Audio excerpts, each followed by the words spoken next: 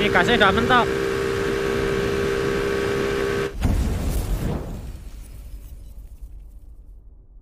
Oke bolo, jumpa lagi dengan saya Belum Motovlog Boys Nur Dalam konten kali ini saya akan melakukan eksperimen ya Nah jadi kemarin kan saya sudah memperbaiki sepeda saya yang sebelumnya mati ya Dengan cara saya menambahkan kabel sepeda dan gearboxnya di depan. Nah untuk eksperimen kali ini saya akan mencoba ya kira-kira perbandingan antara aplikasi GPS Ulise ini dengan sepeda analog pada AC Grand ini itu kira-kira selisihnya berapa?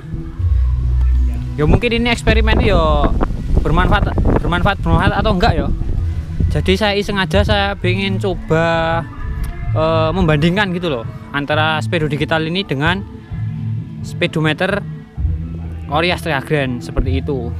Jadi ya wes tak prepare langsung aja kita tes e, perbandingan antara dua speedometer ini Oke, ini sudah di pinggir jalan raya. Nah, ini aku sudah menentukan arah ya. Nah, jadi ini nanti ya apa ya? Sebagai konten hiburan aja lah. Karena saya juga penasaran toh. Kira-kira lebih banyak atau tidak antara selisih dengan sepedo digital si sepedo Astagram ini. Jadi ya wes langsung aja ya kita tes. Bismillahirrahmanirrahim. Bismillahirrahmanirrahim. Amin. Yuk kita coba eksperimen ini.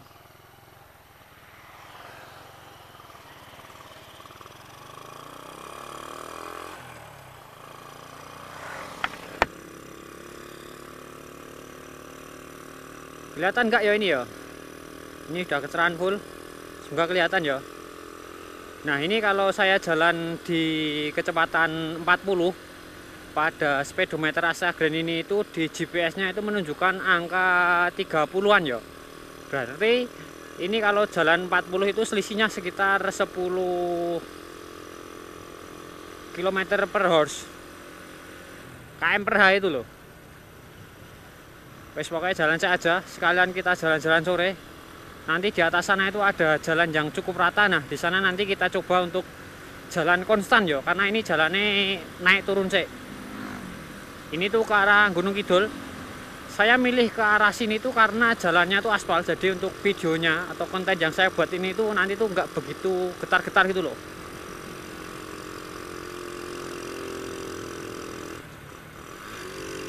Lalu untuk uh, final gearnya yang saya gunakan sekarang ini tuh 1433 lalu ada sedikit ubahan di sektor pengapian. Di sini saya pengapiannya itu menggunakan CDI standar yang sudah upgradean ya. Jadi CDI ori Agen itu di upgrade yang sekarang saya pakai tuh ini. Saya kita nanjak saya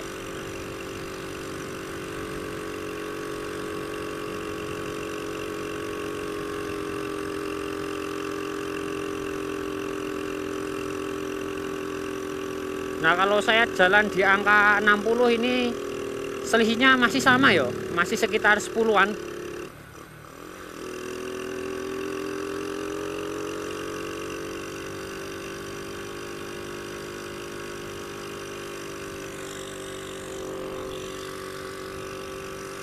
Dhuwur bola munggah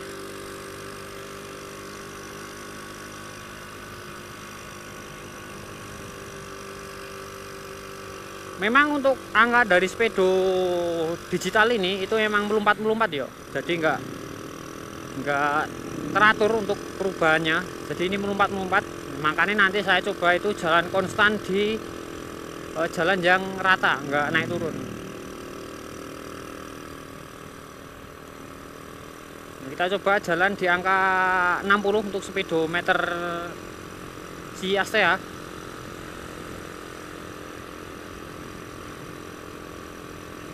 Nah kalau jalan kayak gini selisihnya sekitar 15an ya. Ini di sini 60, di sini 45. Tuh, ya toh. Ini masih nanjak lagi. Se sabar sabar sabar.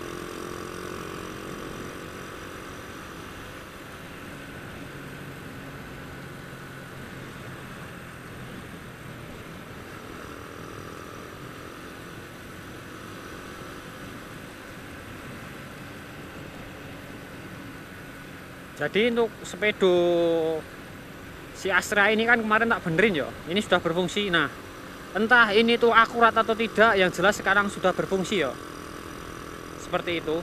Jadi nek semisal mau tes kecepatan mungkin ini sudah bisa.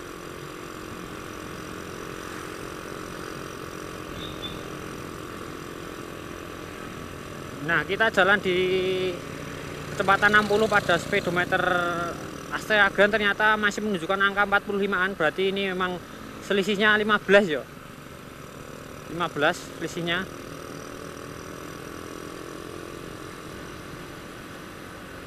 Nah kelihatan kan?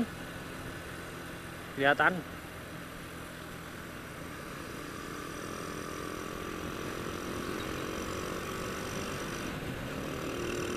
Kita naikkan jadi kecepatan 80 kira-kira berapa selisihnya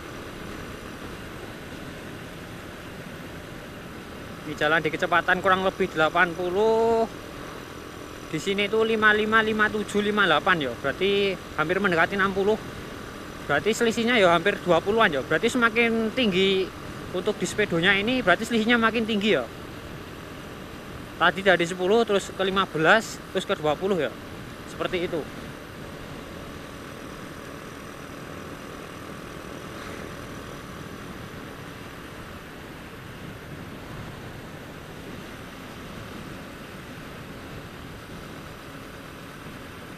biasanya kalau si Genzo ini tak pakaiin sepedo ini buat tak gaspol tuh biasanya mentok ya sepedonya ya tapi nggak tahu ini kalau di GPS nya dapat berapa. Paling dapat 80an paling. Karena selisihnya makin tinggi di speedometer analog ini tuh semakin banyak ya selisihnya ya Bismillah. Ini udah 100 tapi di sepedo masih 70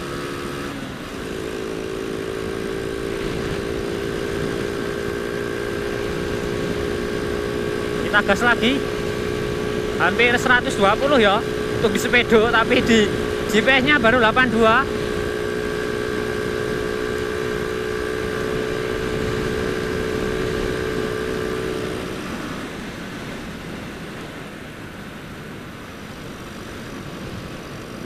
berarti memang semakin banyak di sepedonya Astra Grand ini tuh selisihnya makin banyak.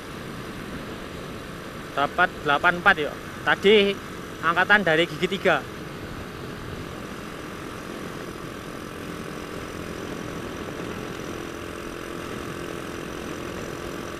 Lah lalu untuk top speednya itu kira-kira lebih apa ya lebih akurat yang mana? Kalau menurut saya pribadi sih lebih condong ke aplikasinya ya karena di sini kan saya eh, merasakan langsung ya untuk hembusan anginnya ketika saya melakukan kecepatan tinggi Nah untuk hembusan angin yang saya rasakan itu mungkin sekitar 80-an ya. Jadi kalau 120 itu mungkin hembusan angin itu enggak enggak apa ya enggak serendah yang saya rasakan gitu loh. Jadi ya kalau saya tes top speed ya saya lebih recommended dengan uh, aplikasinya ini. Gitu. Itu kalau saya yo, semisal teman-teman lebih percaya ke sepedonya yo monggo silahkan karena ini kan uh, sebuah opini yo. Nah dan di sini tuh saya hanya mencoba melakukan eksperimen yo, eksperimen kegabutan saya. Rasanya kok uh, saya tuh penasaran gitu loh dengan selisih perbandingan antara speedometer digital dan speedometer bawaan ori Astrea Grand ini. Apalagi untuk gearbox dan kabel speedonya ini bukan orinya Astrea Grand ya, sudah saya ubah. Seperti itu.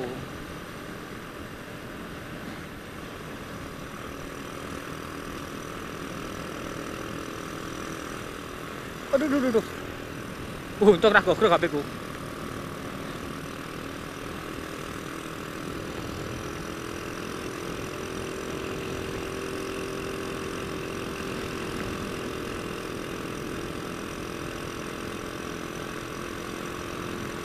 Aduh, aduh. Nah ini kalau saya jalan di konstan angka 80 pada speedometernya Astrea Grand ini yo di, aplikasinya menunjukkan angka 60, 58 seperti itu.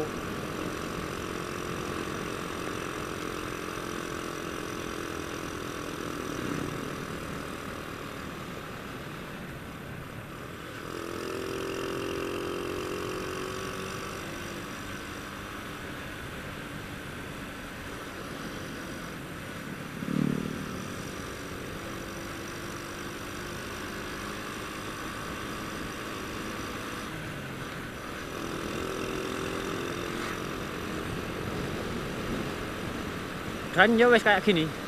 Semoga untuk sepedonya si Astrea Grand ini tuh eh, lebih awet lagi ya daripada sebelumnya.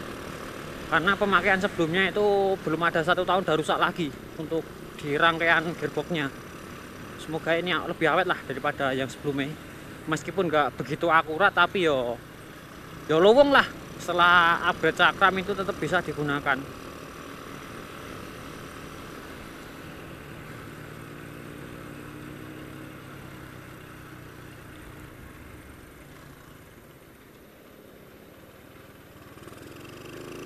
sini aduh sulap.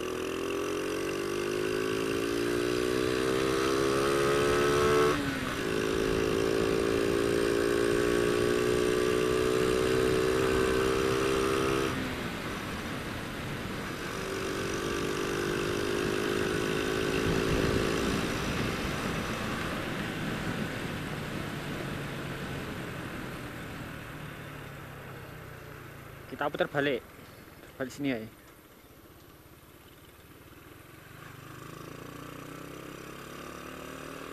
Lo yang nanyain top speednya si Genjo berapa ini lo ketemu toh 84 tapi tadi eh tapi tadi itu dari gigi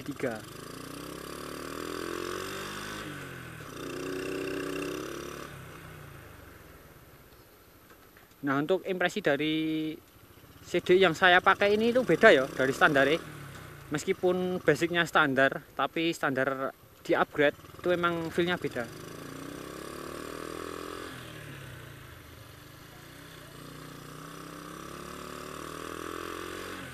Waduh.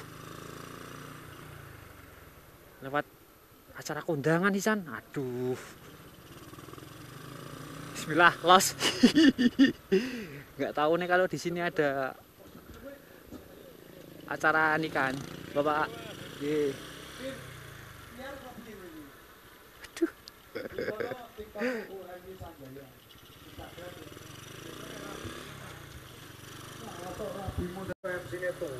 Karena ini uh, muter tapi lewat desa ya. Nggak tahu ini ada acara hajatan.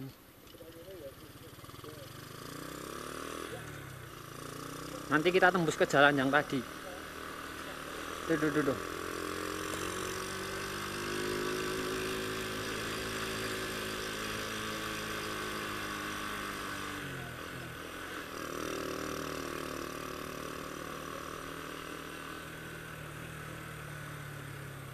Nah ini kita tembus ke pertigaan yang tadi itu loh.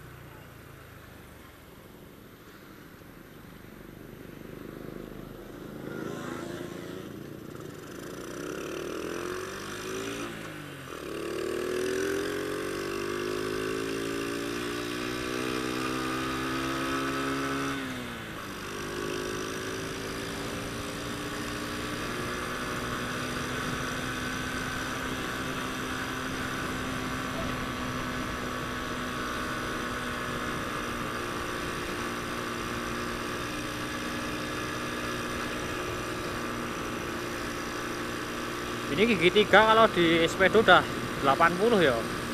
Sangat menipu sepeda ini.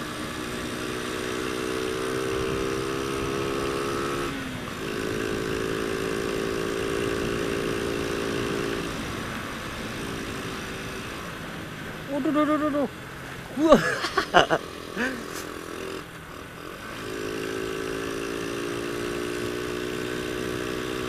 Semisal ada ugal-ugalannya jangan ditiru ya. Mohon tidak untuk ditiru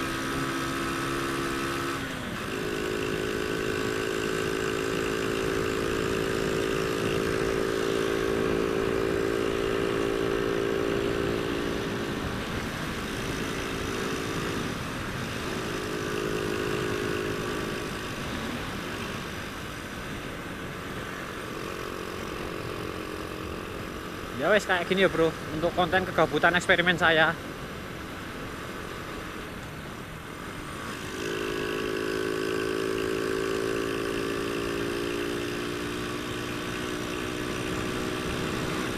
Kita gas lagi ya. Paling 80an lagi ini dapetnya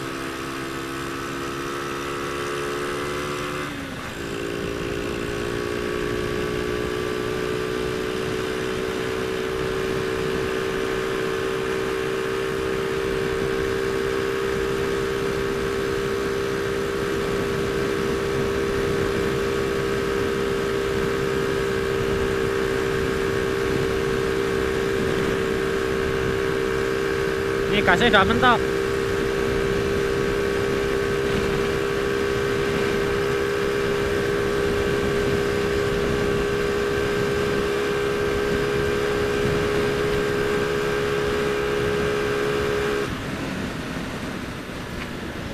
dapat di angka 95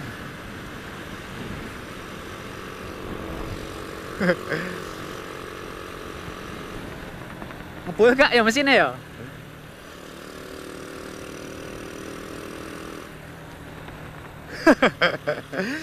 Standar maksa lo? Mungkin di sepedone mentok ya tadi ya. Aku gak gak begitu uh, apa ya? Memperhatikan itu loh. Nih dapat 95. Pokoknya uh, standar tamasya ya wis umumnya baik lah. Dapat segini dah alhamdulillah.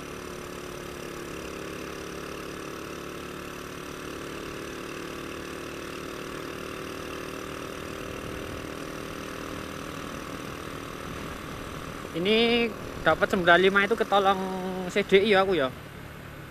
CDI nya berpengaruh sekali ternyata. Saya tak berhenti sini saya tak kasih lihat.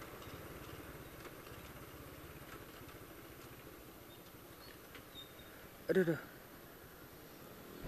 Oke, jadi ini untuk top speednya tadi dapat 95 ya. Lalu untuk di speedo bawahnya mungkin mentok di 120 ya ini pokoknya spekta masyanya loh. Kayak gini. Nah ini kondisi segitu sekarang ya kayak gini. Ini kenang-kenangan di Jamnas ya.